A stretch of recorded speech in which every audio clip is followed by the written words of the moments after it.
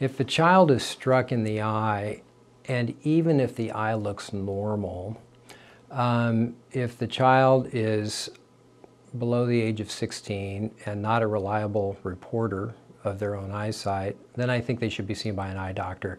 Could be your um, family eye doctor, could be an optometrist, could be an ophthalmologist. It doesn't necessarily have to be in the emergency department, but they should be seen by an eye doctor as soon as they can. The reason for that is because of the risk of retinal detachment. You know, if a child gets hit in the eye, it can cause a retinal detachment. Younger children won't notice or won't say anything. Uh, by the time a person's a teenager, they will.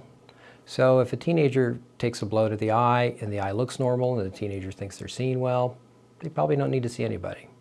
But if they're younger than the age of 16, I would typically recommend an exam.